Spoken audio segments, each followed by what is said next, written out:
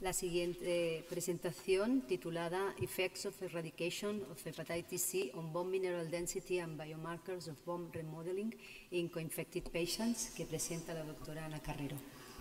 Hola, buenas tardes. En primer lugar, dar las gracias por haber seleccionado el trabajo como póster oral y al grupo eh, de GESIDA 3603B.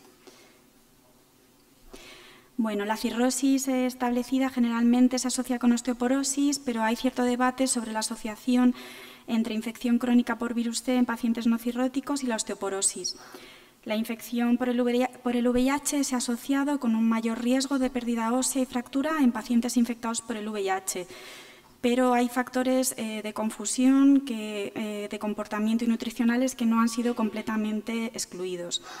El objetivo de nuestro estudio era valorar la asociación entre la fibrosis hepática la densidad y la densidad mineral ósea en pacientes coinfectados VIH virus C y los efectos de la erradicación del virus C sobre eh, la densidad mineral ósea en estos enfermos. se trata de un estudio prospectivo eh, realizado en 14 eh, hospitales españoles durante los años 2012 a 2016, en los que se eh, evaluaron la densidad mineral ósea, la rigidez hepática y los valores de biomarcadores óseos. Se utilizaron diferentes densitómetros en los distintos hospitales y posteriormente se utilizaron ecuaciones descritas para, para, analizarlo. Y para em, eh, definir los criterios de osteoporosis y osteopenia se utilizaron los criterios de la Organización Mundial de la Salud. Estas son las características de nuestra población. Em, en, destacar que los pacientes con respuesta viral sostenida eh, tenían eh, una carga viral un poquito más baja al inicio y que en su mayoría habían recibido interferón ribavirina y un inhibidor de proteasa de primera generación y eh, que solamente un 12% de pacientes recibió pauta libre de interferón, que fue sofosbuvir ribavirina. Aquí en estas gráficas os mostramos la correlación entre la densidad mineral ósea y la fibrosis hepática, a la izquierda en columna lumbar y a la derecha en cuello femoral, y en los gráficos de arriba mediante la estometría y abajo mediante FIP4. El análisis eh, de modelos lineares mixtos eh, solo mostró es, eh, una correlación pobre mediante el método de Pearson en la gráfica de la derecha en cuello femoral.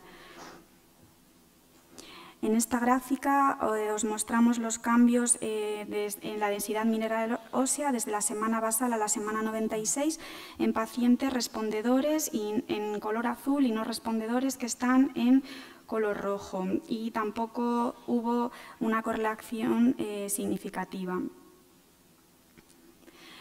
eh. Aquí os mostramos eh, las diferentes categorías de osteopenia, osteoporosis, tanto en columna lumbar como en, columna lumbar arriba como en cuello femoral abajo, en pacientes respondedores y no respondedores, en el momento basal y en la semana 96 y tampoco hubo una correlación mediante el análisis de modelos lineares mixtos.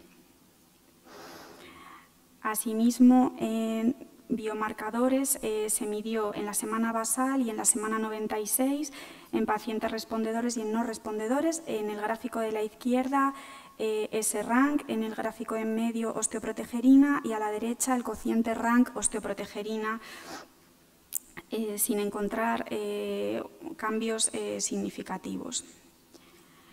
Para terminar, decir que en nuestra cohorte de pacientes coinfectados con, enfermedad hepática compensada no hay una eh, significación entre la fibrosis hepática y la densidad mineral ósea en, eh, el momento basal. Tampoco en la semana 96 la erradicación del virus C después del tratamiento eh, para la hepatitis C se asoció con cambios significativos en la densidad mineral ósea o en biomarcadores de remodelado óseo. En, nuestra población creemos que el, estilo de vida y otros factores pueden tener un mayor impacto sobre la densidad mineral ósea y eh, que, la, eh, que la severidad de la fibrosis hepática.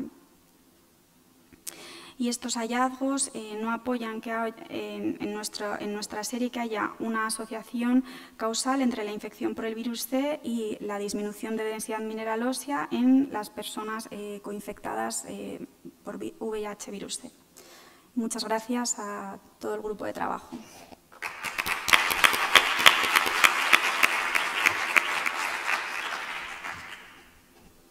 Muchas gracias, Ana. Me ha gustado mucho. Muy interesante. Lástima, ¿no? Los resultados, supongo que esperabais ver. Sí, la verdad que sí.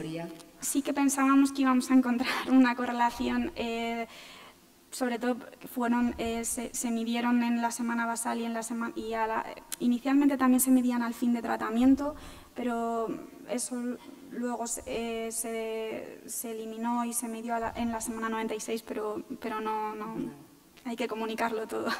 Igual es cuestión de un poco más de tiempo o dos años ya sería ya suficiente, ¿no? Para Bueno, creemos que sí que era un tiempo suficiente porque era para valorar eh, si el efecto de la erradicación del virus C tenía impacto en, esos resultados.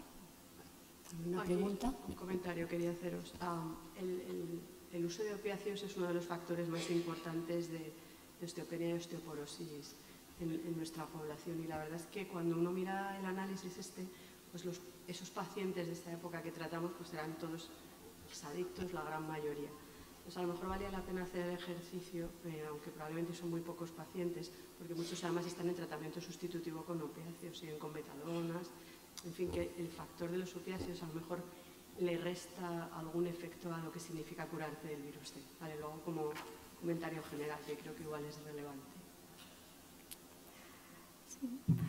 Eh, sí, estos pacientes en la, tabla sí que tenemos un, número muy alto de pacientes que eran eh, usuarios exadictos.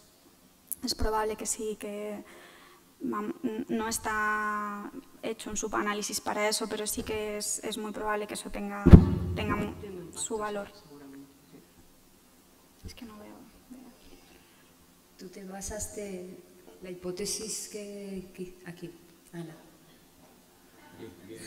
Ana, la mesa, la mesa. Ah, es que no se ve nada eso. Ni oímos mucho, ¿verdad? Yo no oigo nada.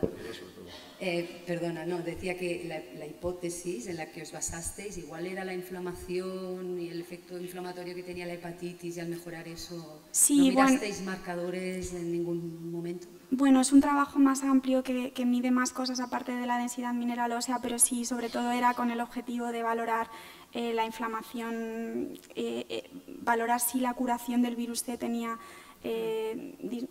efectos sobre la inflamación a más niveles. ¿no? Es un trabajo que, también evaluamos riesgo vascular y, otros parámetros. Y luego, Ana, habéis tenido un 17% creo que era de prevalencia de osteoporosis, ¿no? En los pacientes, gente joven, 50 años. No sé, ¿habéis mirado factores tradicionales asociados a osteoporosis? Eh, sí, bueno, aparte eh, fumadores, muchos de ellos, eh, bajo índice de masa corporal, también muchos de ellos, en, en esta cohorte en concreto que se empezó en el 2012, pero eran pacientes algunos retratados y pues eso, delgaditos, VIH eh, de larga evolución y no tengo aquí el, sí, el dato es 70% de, de, fumadores. no hay, no hay, ningún factor que se asocie significativamente a, a osteoporosis? ¿No habéis encontrado nada, ninguna señal? Muy bien, pues muchas gracias.